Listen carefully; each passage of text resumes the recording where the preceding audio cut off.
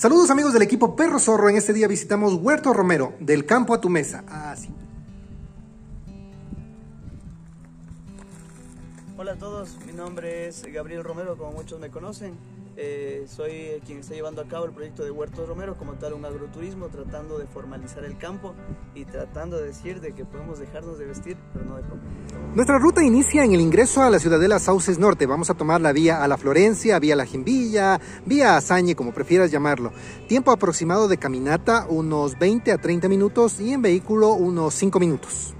Avanzando por la vía Jimbilla vamos a encontrar el letrero de la concesión Sofía. También está por aquí Marmolería Juárez e Hijos. Y esta es la ruta o la vía que va al cementerio de Motupe. Por esta vamos a seguir. Eh, desde nuestro desvío ya hemos caminado por la cuesta unos 10 minutos y llegamos al cementerio de Motupe. Debemos avanzar por la vía principal. Por esta carretera seguimos caminando. Caminamos por la calle principal del cementerio. Aquí podemos observar el último nicho y ahí al fondo ya se puede observar Granja Romero. Y a poquísimos metros vas a encontrar la señalética de Huerto Romero. Hay acceso para vehículo, hay un área de estacionamiento e incluso aquí está la señalética para que puedas conocer de qué se trata. Nuestro amigo Gabriel Romero nos indica algo muy interesante de esta producción. Es un tipo de producción escalonada. Mientras en un lugar ya se está cosechando el fruto, como lo está haciendo ahí nuestro amigo Gabriel, en otro lugar todavía está comenzando eh, el plantío. Espero poderlo explicar bien, pero está genial. Y por supuesto, como siempre, nuestro punto de referencia, el Cerro Sañi. Como tal, es una valla que está muy, muy, muy bien formada, ¿sí? No ha tenido eh, el ingreso de algún patógeno, ni, ni hongos, ni, ni, insectos. Entonces está genial. Así es la calidad de nuestras moras de aquí de Huerto Romero. Y además estas sirven para hacer vino, ¿no? Sí, con esta hacemos un, Es una entradita que les damos acá en el restaurante, así que pueden venir acá y probarlo también. Salud, salud.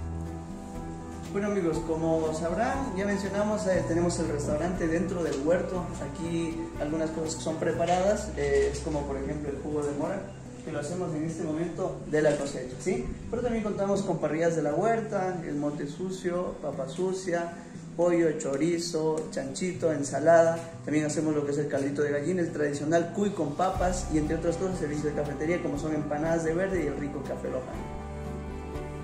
Bueno, como verán en esta percha fue interesante colocar estratégicamente acá porque hay productos que a lo mejor no lo puedo llevar al mercado, pero ustedes lo pueden encontrar aquí. Pueden hacer mercado directamente acá. 5 libras de tomates de unos 50 centavos, 1,25 esta librita de mora cosechada al momento y un dólar los babacos. Así que les esperamos aquí en Huerto Romero, la mejor producción y calidad y el mejor servicio.